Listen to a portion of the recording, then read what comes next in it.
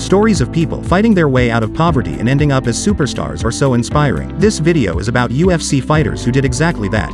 Number 4. Junior Dos Santos. As a 10-year-old, Junior Dos Santos was already working a variety of jobs while going to school in the tiny town of Caçador, Brazil, to assist his struggling single mother, a cleaning lady, put food on the table for their family. However, experiencing poverty only seemed to make the young Junior more determined to create a better life for himself and his loved ones. The 6 feet 4 heavyweight stepped into an MMA gym for the first time in 2006, and it quickly became clear to the coaches that Dos Santos had real potential, so it wasn't long before he began fighting professionally. In 2008, JDS would make it to the UFC, where he would go on a nine-fight winning streak, including winning the heavyweight title against Cain Velasquez with 8.4 million viewers. Dos Santos has earned several million dollars over the course of his career, more than enough to live up to a standard he could only have dreamed of as a child.